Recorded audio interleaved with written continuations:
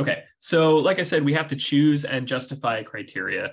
Um, not all criteria are going to apply uh, to our policy problems. Um, you know, uh, technical feasibility might not be an issue if uh, you know we're just considering an administrative change, right? That everyone uh, everyone has to uh, clock in at a certain time, right? Technical feasibility doesn't really uh, apply here, or um, you know, legality might not necessarily apply, uh, or you know, social acceptability, right? I mean, someone's clocking in and out hours may not violate some some social acceptability although i guess they could right if, if we start saying well everyone has to clock in at 5.30 in the morning there that might not be socially acceptable i don't know um, but but some criteria are going to be more potent they're going to be more meaningful uh, for your policy than others.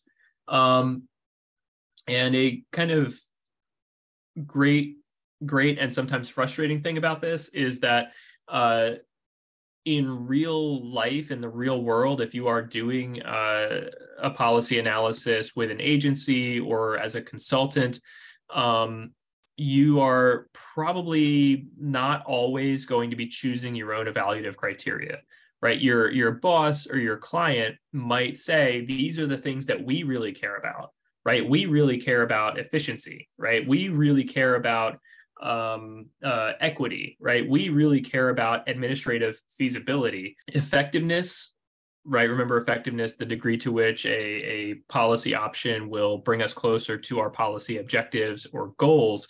Um, it should always, you know, I'm going to say should always be a criterion that you use. Um, I would even say it's probably the most important criterion that you could evaluate uh, policies with.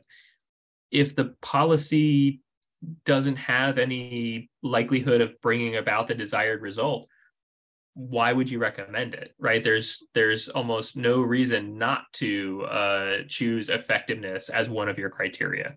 It's it's important um, but you'll also probably have to balance it with some other criteria uh, just as an example um, efficiency right is a a kind of measure of the uh, effectiveness for cost right? What is what is the return right? What is the effectiveness of our policy and how much are we spending to get there? Um, right? If one policy option it could be super super effective but it's also really really expensive and beyond uh, a, a budgetary constraint right? We we can't necessarily recommend that policy because it's going to outstrip our our, our costs or our, our budgets.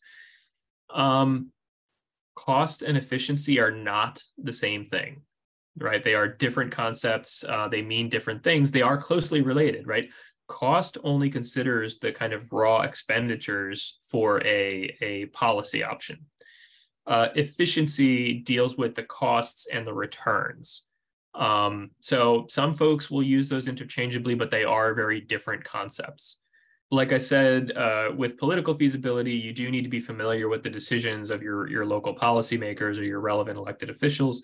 Um, and uh, with legality, you need to know what the relevant laws uh, or ordinances are um, that you could run afoul of with different policies.